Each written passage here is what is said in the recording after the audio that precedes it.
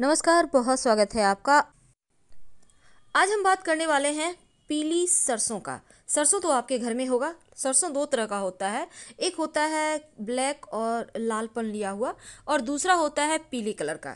तो आज जो हम सरसों का प्रयोग बताएँगे, वो पीले रंग वाले सरसों से ही आपको करना है।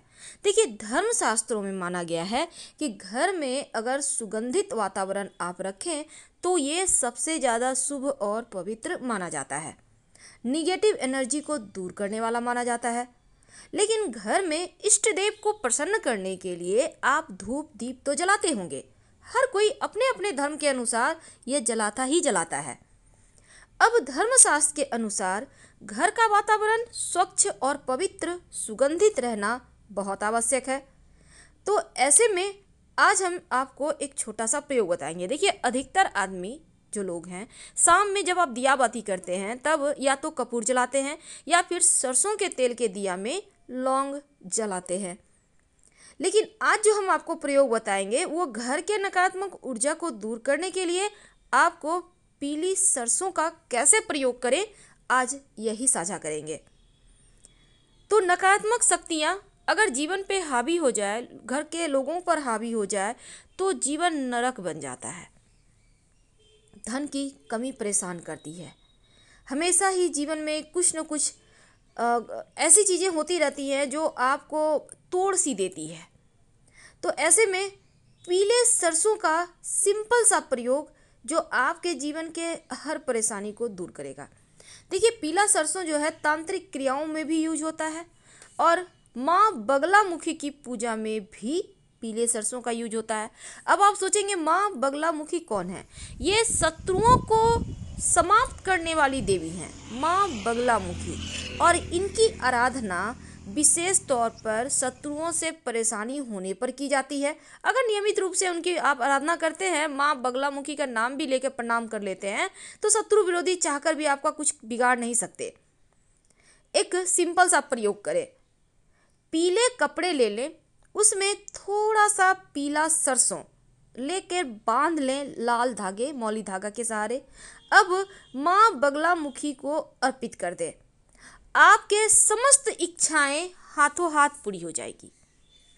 ये पीला सरसों बहुत चमत्कारी है। तो माँ बगलामुखी को आप पीली सरसों ज़रूर अर्पित करें ताकि जीवन में कोई परेशानी ना रहे और समस्त आपकी इच्छाएँ पूरी हो जाए। अब हम एक छोटा सा प्रयोग बताएँगे। कई बार क्या होता है ना, जीवन में परेशानी बहुत बढ़ जाती है। तब एक नियम बना लें। जब शाम में आप दिया बाती करते हैं, चाहे आप कपूर जलाते हैं या सरसों के तेल का दिया जलाते हैं, आप लौंग मत डालिए कुछ दिन। लौंग की जगह एक चुटकी पीली सरसों डाल दीजिए, कपूर के सहारे या आप दिया जो जलाएँगे, सरसों के तेल का उसमें। अब इसी से पूरे घर में दीपक दिखाइए। यकीन मानिए निगेटिव ऊर्जा शांत हो जाएगी, क्योंकि जब सरसों जलता है, तब अतृप्त आत्माएँ शांत हो जाती हैं। अब मान लेते हैं आपके घर में छोटे छोटे बच्चे हैं, उनको बहुत नज़र दोष लगती है, बहुत परेशानियाँ आती हैं, क्या करेंगे? जब आपको लगे कि ऐसा कुछ हो रहा है, जब आपको लगे कि आप बहुत परेशान हैं, तब एक सिंपल सा प्रयोग करें। एक बर्तन ले लें। इसको अपने घर में चूल्हे पर चढ़ा दें। अब इस बर्तन को गर्म होने दें। इसमें एक टुकड़ा फिटकरी और थोड़ा सा पीली सरसों डाल दें। जब सरसों चटकने लगे, तब इसका धुआँ को घर में फैलने दें। इसके बाद जब वो, देखिए हल्का सा हो गया है, फिर इसको आप निकाल लें। ठंडा होने दें, एक कागज़ पे रखें। कागज़ पे रख के इसको ठंडा होने दें। अब इस कागज़ को लेकर जिसको भी नज़र लगा है, उसके ऊपर से तीन बार या सात बार उल्टा वार ले घर से बाहर फेंक दे। जो भी व्यक्ति पीड़ित है, वो उसकी पीड़ाओं में जल्दी ही वो शांत हो जाएँगे, यानी उनकी पीड़ाएँ समाप्त हो जाएँगी। नज़र दोष तांत्रिक क्रियाओं से मुक्ति मिल जाएगी। तो ये प्रयोग बहुत सिंपल है।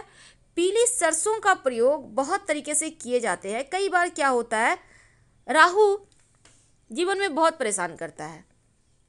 और जब राहु परेशान करेगा ना तो जीवन में आकस्मिक समस्याएँ आती हैं, आकस्मिक बाधाएँ आती हैं, और जीवन में जैसे लगेगा सब कुछ खो रहा है। क्या करेंगे? बहुत सिंपल प्रयोग है। जब राहु परेशान करे, तब राहु के नक्षत्र में ही प्रयोग करेंगे। अब राहु का नक्षत्र कौन सा है? पूर्वा भाद्रपद, स्वाति और आद्रा ये तीन नक्षत्र राहु के हैं। जब ये नक्षत्र आए, चाहे वो किसी किसी भी दिन आए, उस दिन ये प्रयोग करना है। थोड़ा सा पीला सरसों अपने हाथ में लेकर, अपने ऊपर से सात बार वार ले। अब वार कर, इसको कहीं भी बहते हुए नदी में प्रवाहित कर दें।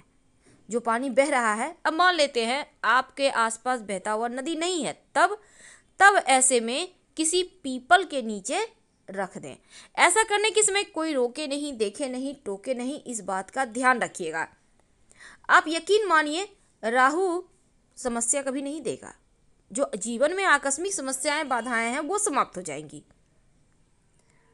एक सिंपल सा प्रयोग ये भी होता है। कभी कभी क्या होता है, आप कभी कभी घर में कोई सुमंगल कार्य करते हैं, अचानक से बाधाएँ आ जाती है, या लंबे समय से आपके घर में कोई सुमंगल कार्य हो ही नहीं रहे लंबे समय से आपके घर में संतान की प्राप्ति नहीं हुई है, किसी का शादी ब्याह नहीं हुआ है, आप चाहकर भी पूजा पाठ नहीं कर पा पा रहे हैं, इसका मतलब है घर में दोष है।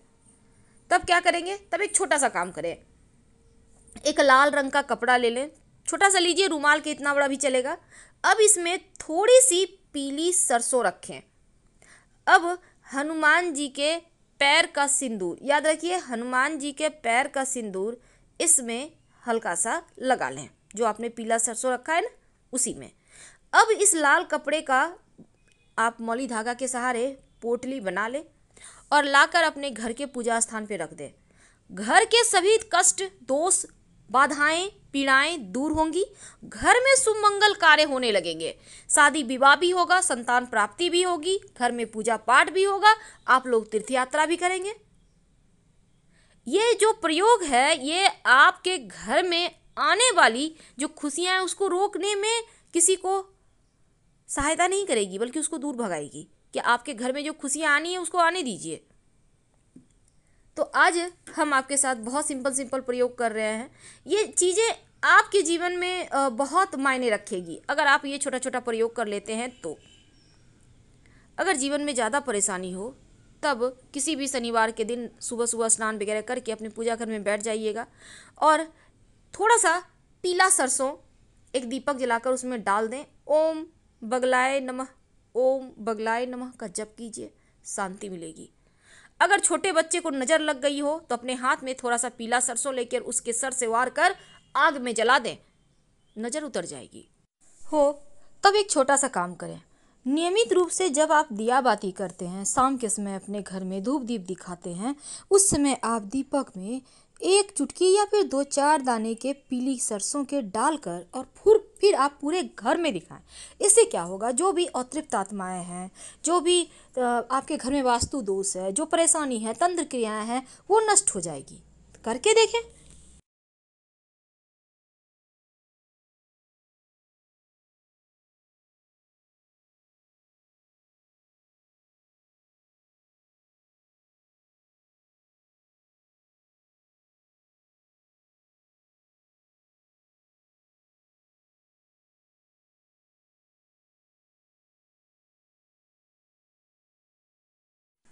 आप चाहें तो सरसों के साथ थोड़ा सा नमक, ज़रा सा, एक चुटकी, और इसके साथ ही तीन साबुत सूखी हुई लाल मिर्च भी ले सकते हैं। और इसको आप कहीं भी बालकनी में, छत पे, कहीं भी आउट मतलब घर से बाहर निकल कर या अपने किचन में करेंगे तो आप व्यवस्था कर लें, नहीं तो मिर्ची का गंध अंदर आ जाएगा।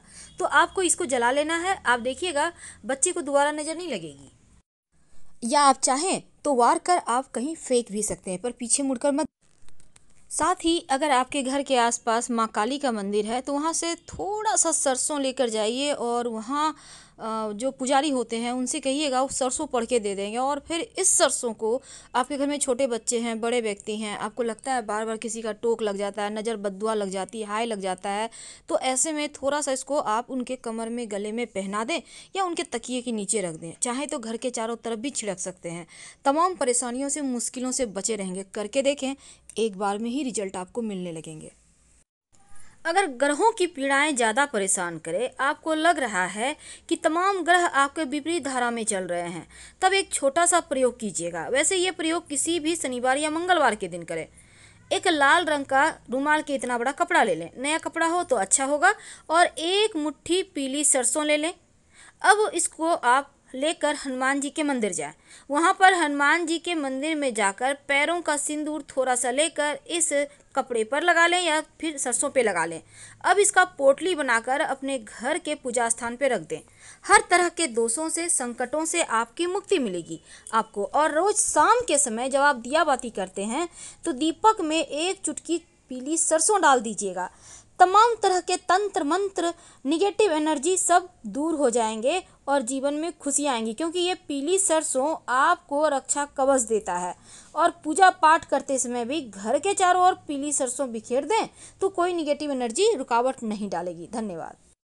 वीडियो पसंद आए तब प्लीज़ लाइक कीजिए, चैनल को सब्सक्राइब कीजिए, अपनों से शेयर कीजिए और कमेंट में हर हर महादेव ज़रूर लिखिए। धन्यवाद।